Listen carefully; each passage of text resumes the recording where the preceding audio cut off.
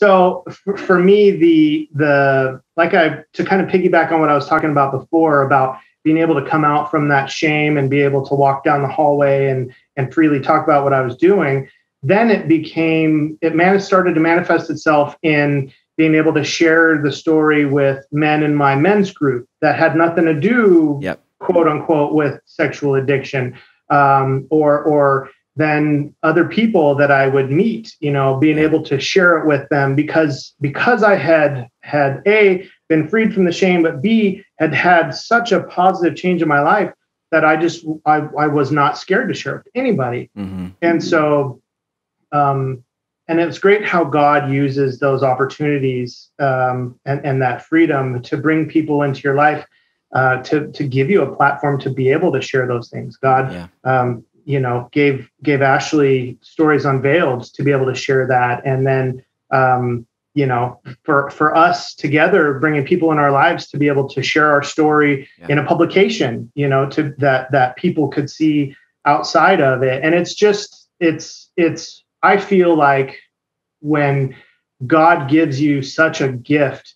Um, there's no way that you can just keep it to yourself. Yep. You have mm-hmm. to share it. So and, and, and I know that for myself that um, I know that how I struggled in the dark and and so I have to assume that there are so many others that are out there struggling in the dark. And so I felt it incumbent upon myself to to be out there and to sing it from the mountaintops yep. because I was freed from the shame. And so now I yep. need to be able to to be something that was attractive for other men to be able to say, Hey, you mentioned this.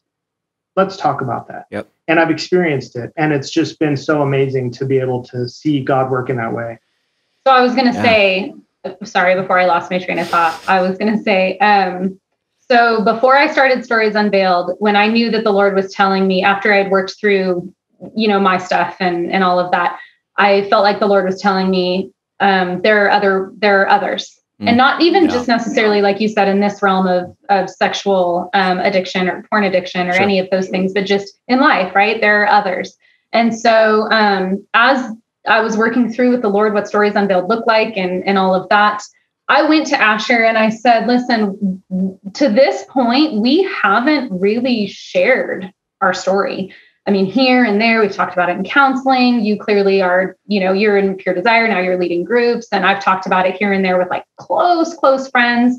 But like the leadership of, you know, the church, certain leadership, they don't know. Like we've never been really outspoken about mm-hmm. this. We have never just, without any inhibitions, really just shared our story. And if I, if I walk through these doors that I feel like God's opening with stories unveiled, and this is the road that we take, it's not going to be easy and we're gonna we're gonna have to share our story like on a platform so to speak. Like it's going to be revealed for all.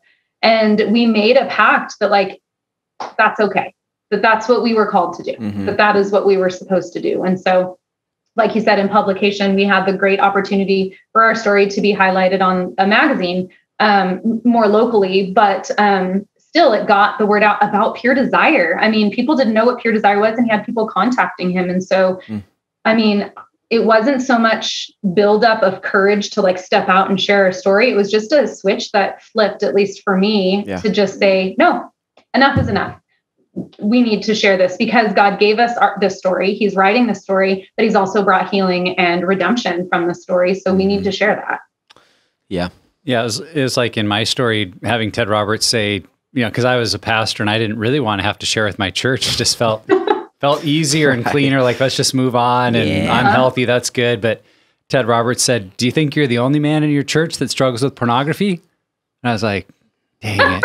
No. no. I mean, and it's just it was that right. simple. It's like this yeah. this switch of like, well, yeah, obviously there's tons of other guys, and if I'm quiet about my story, they're going to keep struggling. Mm-hmm. And if I try to preach on this without owning my story, it's not going to have near the effectiveness if yep. I'm willing to stand up and say, "Listen, I was I was bound yep. and trapped and addicted, and some of you are too, and I found mm-hmm. hope and freedom, and here's how." Like, yep. you you catch that vision to say we're not the only ones. That, mm-hmm. those were your words, I think, and that just yeah, that's a game changer for sure. Yeah.